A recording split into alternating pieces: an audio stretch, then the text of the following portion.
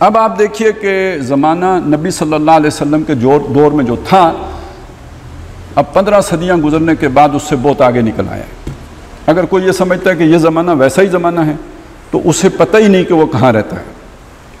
ज़मीन व आसमान का फ़र्क वाक़ हो चुका है ज़माने में। पहली बात यह कि अब दुनिया ग्लोबल विलेज कहलाती है। ये खुद बहुत बड़ा फ़र्क है।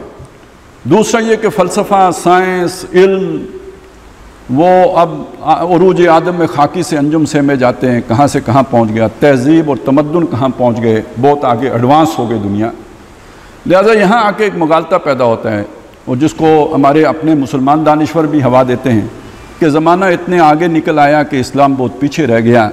आज के दौर के लिए इस्लाम से रहनमाई हमें नहीं मिल सकती। वो तो सात सौ, चौदह सौ साल पुरानी बातें हैं, ज़माना बहुत आगे आ गया। है डॉक्टर इसरार अहमद रहमत से ये बात सुनी कि जब उन्नीस सौ उनचास में करारदाद मकासद पास हुई पाकिस्तान की असम्बली में तो जिसमें यह तय हुआ था कि कोई कानून, कुरान और सुन्नत के ख़िलाफ़ नहीं बनेगा, था। तो उस मौके पे एक मंबर असम्बली ने यह तकरीर की थी कि आज हम महजब दुनिया को मुँह दिखाने के काबिल नहीं रहे हैं कि इस दौर में भी कुछ लोग, एक मुल्क है, जो कहते हैं हम पंद्रह चौदह सौ साल पिछले जो रहनमाई है, उसके मुताबिक कानून साजी करेंगे, उससे आगे नहीं बढ़ेंगे।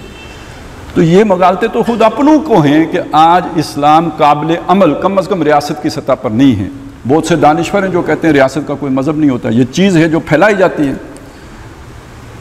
तो बहरहाल, पहली बात तो ये है कि ये भी एक मगालता है। लोग लोग समझते हैं कि आज के दौर के अतबार से दीन बहुत पीछे है, ज़माना बहुत आगे आ चुका है और आज के ज़माने का हल किसी मज़हब के पास नहीं है। इंसान अपनी अकल से उसका हल खुद निकालेगा माशी निज़ाम क्या हो? इंसान सोचेगा। समाजी निज़ाम क्या हो? इंसान सोचेगा। सियासी निज़ाम क्या हो? इंसान सोचेगा। जो इंसान सोचेगा, वही ठीक होगा। अल्लाह ने जो सोच के दिया था, वो चौदह सदियाँ पुराना हो गया। आज के दौर के लिए काबिल अमल नहीं है।